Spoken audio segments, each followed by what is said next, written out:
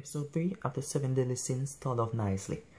After they went to the forest, they meet some monster that can transform into anyone or anything. So the monster transformed into the pig, and the pig was asking Meliodas for help.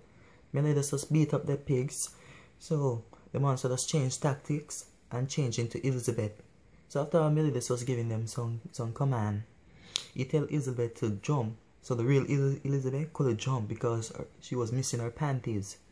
We later find out that Meliodas take her panty when he was feeding up her butt. So when the monster run to a, uh, to a girl in the forest, we find out that the girl was one of the seven deadly sin, the sin of envy, Diana. So when they meet, when Diana wake up, she's she take the captain. I was saying Captain Captain because she was in love with him. When Diana find out that Elizabeth was traveling with Mel- Meliodas, she was having a tantrum a tantrum of jealousy. So when she was having a tantrum now, she was saying baka baka. In Japanese mean idiot. When she was saying idiot, the alien chief just put up put up some words, said asshole.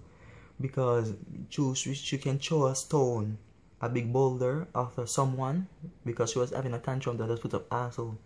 So find out later on that one of the holy knights was after them you seem like the Holy Knight that was after them is the Holy Knight that put that stick the stone in the village that stopped the water.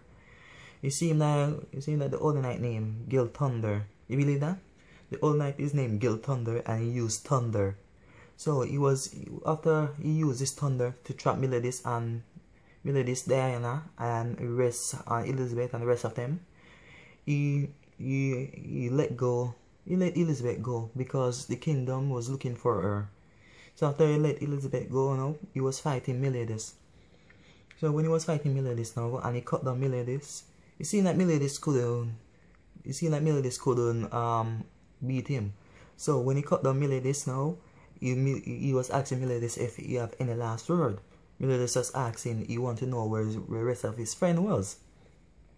So it seemed like he tell Gilthunder tell Meliodas that one of the sin was dead and one of the one of them was in jail and you don't know about the other three. So Meliodas turned up and said thank you. You see that Meliodas was playing dead. But the funniest part was when Diana was having a tantrum.